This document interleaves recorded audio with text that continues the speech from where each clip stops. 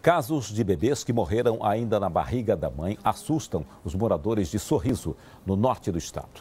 Só este mês foram cinco. As mulheres passaram por atendimento nos postos de saúde. As famílias acreditam que a demora no encaminhamento para o hospital regional pode ter agravado a situação. A filha desta senhora estava grávida de nove meses e prestes a entrar em trabalho de parto. Após se sentir mal em casa, ela procurou atendimento no posto de saúde no centro de Sorriso. E a partir daí, a vida da família mudou completamente. A médica falou que estava tudo bem, o coração da neném estava batendo normal e que ela poderia vir a nascer. Uh, ou não, que podia até passar uma semana para nascer. Dois dias após ser atendida no posto de saúde, a gestante voltou a sentir dores na barriga e correu para a UPA.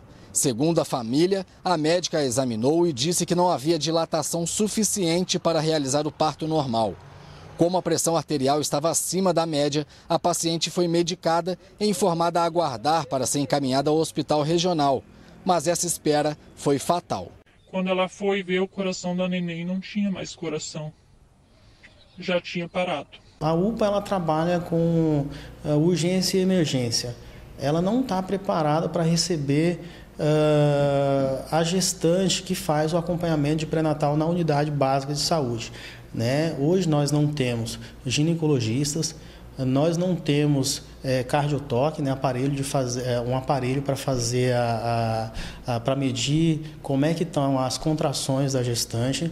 Então a gente não, não, não está preparado para receber esse tipo de paciente. Esse não foi o único caso que aconteceu este mês em Sorriso. Somente na primeira quinzena de março, outras quatro mães que foram atendidas nos postos de saúde na UPA também perderam seus bebês.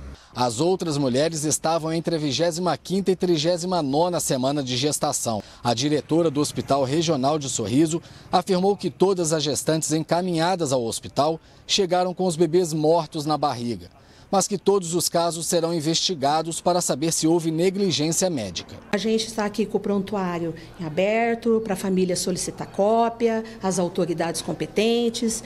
É, o Hospital Regional atende, na média, de 120 partos mês.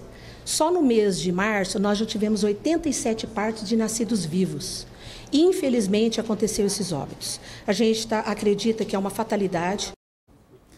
Em nota, a Secretaria Estadual de Saúde confirmou que foram cinco gestantes que perderam seus filhos ainda na barriga e explicou os motivos. Dois por descolamento de placenta e três natimortos, que é quando o feto morre dentro do útero e que as grávidas chegaram com sangramentos, dores e os bebês já estavam sem batimentos cardíacos. Disse ainda que as gestantes foram prontamente atendidas pelo médico especialista nos casos.